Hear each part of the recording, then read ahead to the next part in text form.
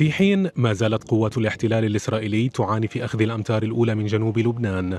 أصدرت المقاومة بيانا تشرح فيه حيثيات المعركة وتفاصيلها. البيان موجه على نحو أساسي لجمهور المقاومة الذي يتعرض لأسوأ أنواع الحرب النفسية والتضليل في تاريخ الحروب الحديثة والذي يشارك فيه الجيش البريطاني مباشرة بحسب موقع ديكلاسيفايد.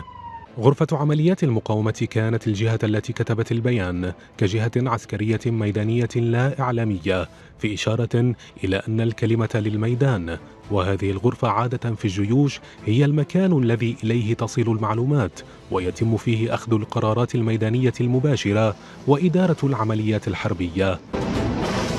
أظهرت المقاومة في البيان أنها ما زالت تمسك بزمام الأمور وتقود المعركة لحظة بلحظة حتى عند خط الاشتباك الأول ولديها إدراك كبير للصورة العامة عن المعركة وهو عامل أساسي في تحقيق أي نصر.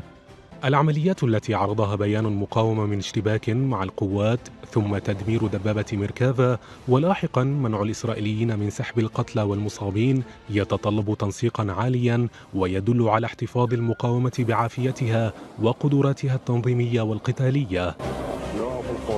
من جهة أخرى كشف بيان المقاومة عن عودة سلاح نوعي للمعركة وهو سلاح المسيرات الهجومية التكتيكية التي يمكن إمدادها بأنواع مختلفة من الرؤوس الحربية بحسب المهمة.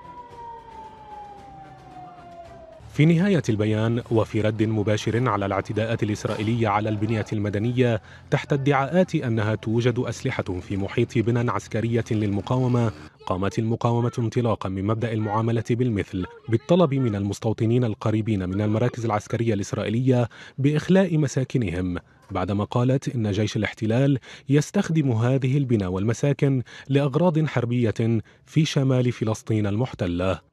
ركز بيان المقاومة إذن على تعزيز التواصل مع جمهورها وتكذيب الادعاءات الإسرائيلية وفرض معادلات تحاول ردع التجاوزات الإسرائيلية تجاه المدنيين وبيوتهم.